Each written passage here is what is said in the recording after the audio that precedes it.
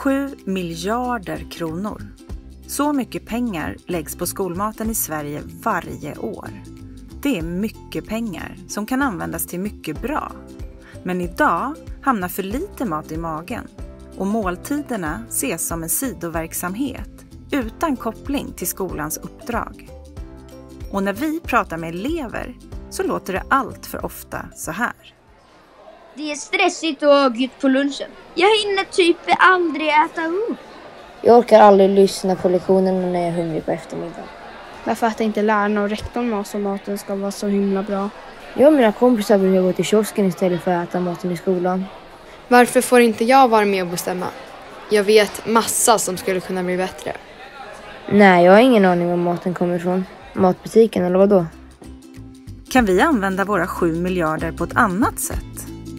Vad skulle hända om vi använde skolmåltidssystemet som en innovationsplattform för att lösa utmaningar kopplade till klimat, folkhälsa och social rättvisa?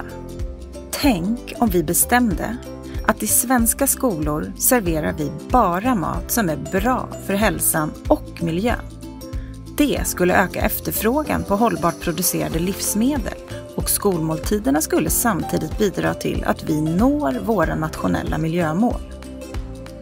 Och tänk om kommunens skolkök samarbetade med bönder och livsmedelsproducenter i närområdet och fick den lokala ekonomin att blomstra. Och tänk om skolköken kunde användas som testbäddar för entreprenörer och innovatörer som skapar framtidens livsmedel.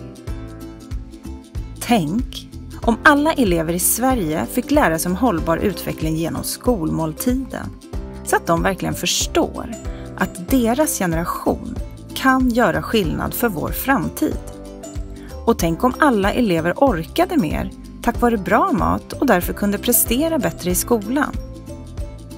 Tänk om våra skolmåltider skulle skapa ökad jämlikhet genom att ge alla barn samma chans att uppleva matglädje genom god och hälsosam mat.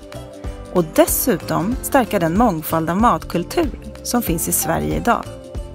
Vi behöver sätta gemensamma mål för våra svenska skolmåltider och våga utforska, tänka nytt och riva murar för att nå dit. Om vi gör det så kanske det istället kan låta så här när vi pratar om skolmat runt om i landet. Vår skolrestaurang är supernice, jag älskar den. Våra möbler är som lego. Vi kan bygga om dem hur vi vill. Nu har köket och restaurangen blivit istället till skolan där alla vill hänga. I restaurangen har vi också en vägg där det växer grönsaker och kryddor som jag kan plocka själv. Och bredvid har vi fiskar som får mat från det som växer på väggen. På skolgården har vi växthus och odlingar som vi sköter tillsammans med några pensionärer som bor bredvid skolan. I år har vi också en biodling så det blir hur mycket bär och grejer som helst.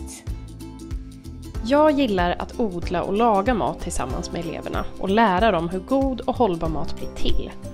Det är otroligt givande för mig som kock att få influera barns inställning till mat och känna att jag är med och skapar en positiv förändring. Idag kommer skolkock förbi min gård tillsammans med en skolklass för att hämta veckans råvaror. Jag livesänder också från gården ibland så att eleverna kan få lära sig om livet här. Till exempel idag när vi klippte fåren. Mat är ett av de bästa läromedlen jag har som lärare. Jag kan undervisa flera olika ämnen med hjälp av mat och råvaror. Till exempel historia, geografi, samhälle, naturkunskap och massor med fler. Det gör ämnena mycket mer greppbara för eleverna och kunskapen verkligen fastnar. Jag jobbar på ett företag som utvecklar nya hållbara matprodukter. Jag brukar låna skolköket på kvällarna för att tillaga och testa nya recept. Jag har en grupp lärare också och elever som provsmakar. Det är så himla bra. För om barnen gillar det, då vet jag att det kommer funka. Nu är det dags att göra verklighet av den här typen av lösningar och utforska ännu fler. Det är dags att skapa ett hållbart skolmåltidssystem tillsammans. Hur stark är din förmåga att tänka om? Kan du förvandla tankarna till handling genom att samarbeta med andra? Vi vill använda maten i skolan som ett verktyg för hållbar förändring. Med målet att varje barn i Sverige ska få äta skolmat som är både god och hållbar. Vill du vara en del av lösningen?